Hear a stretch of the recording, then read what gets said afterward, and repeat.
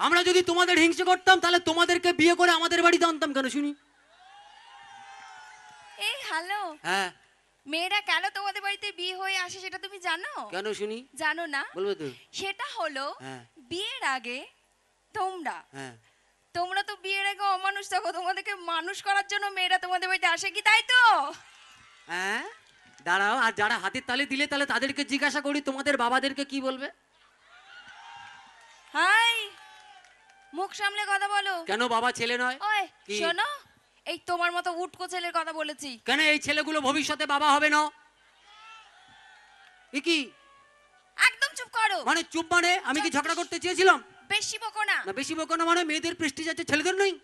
ছেলেরা কি বানার জলে বেঁচে আজকে এটা সুন্দর মুহূর্ত আমি কেন ঝগড়া করব? হাত দাও। ঝগড়া টগড়া চাই না আমি। আই লাভ ইউ হ্যাঁ কাকে? তোমাকে। দূর। কেন? সমস্যা কোথায়? তুমি ভালোবাসবে আমায়। কেন? প্রবলেম কি? আচ্ছা তুমি আমায় ভালোবাসবে হ্যাঁ। তুমি জানো আমি কে? কে? আমার বাবা পুলিশ তুমি জানো? তোমার বাবা পুলিশ? তুমি জানো আমি কে? হ্যাঁ কই না তো? তাহলে ঠিক আছে ঠিকানা না জানলে পুলিশ কোথা থেকে ধরবি ধর।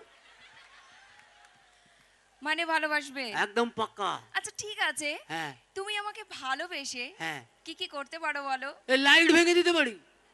প্যান্ডেল ছিঁড়ে দিতে পারি।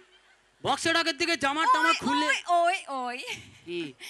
ওইটি মোটেও করতে যেও না। কেন? কারণ তোমাকে এখানে সবাই দেখতেই পাচ্ছে। তাতে কি হয়েছে? এই যে জামার ভেতর হ্যাঁ। একটা সুন্দর প্যাক আছে। হ্যাঁ, কঙ্কাল প্যাক তো। কি হয়েছে তাতে? ওইটাই। হ্যাঁ। ওটা বেরিয়ে গেলে ঠিকঠাক লাগবে না। তাহলে কি করব? অত সব কিছু করতে হবে না। একটা কাজ করলে হবে। কি শুনি? কিন্তু কাজটা কঠিন। কি কঠিন কাজ শুনি? পারবে তো? বলবে তো। ঠিক আছে। হ্যাঁ।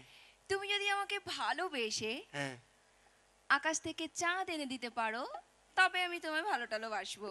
চাঁদ তাহলে পূর্ণিমাটাকে তোর বাবার মুখ দেখে হবে হ্যাঁ? আমি জানি। কি জানি? পারবে না। না পারবে না মানে আমি তোমাকে চাঁদ এনে দিলে আর সবাইকে অন্ধকারে হাত দেবে এরকম নাকি? ঠিক আছে ঠিক আছে। অত নাটক করতে হবে না। তাহলে কি? ভালো যখন বাসবে হ্যাঁ। তাহলে কিন্তু বিয়ে করতে হবে। না বিয়ে আমি তো করতে রাজি আছি।